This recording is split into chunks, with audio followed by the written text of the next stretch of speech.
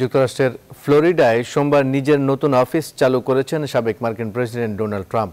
সেখান থেকে সাবেক প্রেসিডেন্ট হিসেবে তার দায়িত্ব পরিচালনার পাশাপাশি তার প্রশাসনের এজেন্ডা নিয়েও এগিয়ে নেওয়ার চেষ্টা করা হবে। সোমবার এক বিবৃতিতে ট্রাম্পের নতুন দপ্তরের বিস্তারিত কর্মসূচির বর্ণনা দেওয়া হয়েছে। একই দিনে তার অভিশংসনের বিচার শুরু করতে প্রতিনিধি পরিষদ থেকে সিনেটে আনুষ্ঠানিকভাবে অভিযোগ দাখিল করা হয়েছে। প্রতিনিধি পরিষদের নয়, ডেমোক্রেট সদস্য ট্রাম্পের এই অভিশংসন প্রক্রিয়ায় প্রসিকিউটরের ভূমিকায় থাকছেন বলে জানিয়েছে রয়টার্স। চারশো পঁয়ত্রিশ সদস্যের প্রতিনিধি পরিষদে প্রস্তাবটি দুশো বত্রিশ, একশো সাতানব্বই ভোটে পাশ হয়েছিল, যার মাধ্যমে প্রথম মার্কিন প্রেসিডেন্ট হিসেবে দ্বিতীয়বারের মতো অভিশংসিত হন ট্রাম্প।